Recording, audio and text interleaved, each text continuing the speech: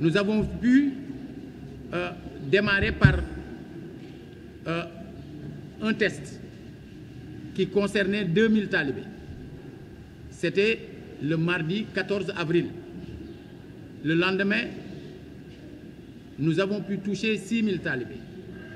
Et depuis le jeudi 16, chaque jour, nous cuisons pour 10 000 talibés.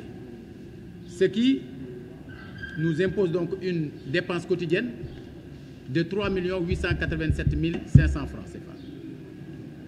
Euh, c'est vrai, nous rencontrons encore des talibés dans les rues, mais nous l'avions également prévu, puisque nous savons qu'il faut quand même séparer la bonne graine de l'ivraie.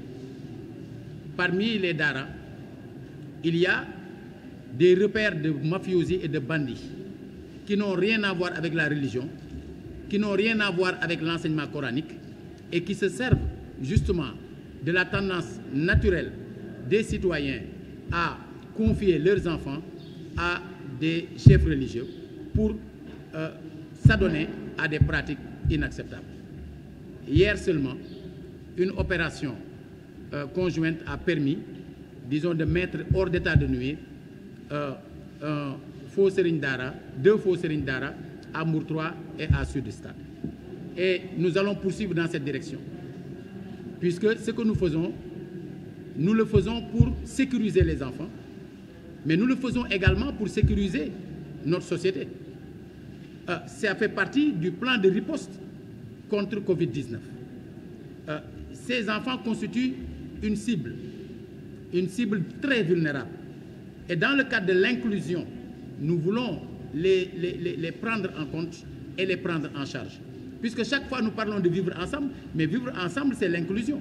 On ne peut pas parler d'inclusion quand des enfants sont exclus. Mais ces enfants, au-delà du fait d'être une cible vulnérable, sont aussi une cible très mobile. Ce sont des enfants qui se déplacent de maison en maison, de service en service et de marché en marché. Au moment où nous parlons de transmission communautaire, si nous ne confinons pas les enfants dans les daras, il y a un énorme risque. L'énorme risque, déjà, euh, ce qui s'est passé à Giguinchor montre que nous avions raison d'avoir cette option-là. Alors, maintenant, nous n'allons pas permettre à de faux Dara, disons, de, gâcher cet énorme travail euh, que nous faisons en commun depuis quelques jours.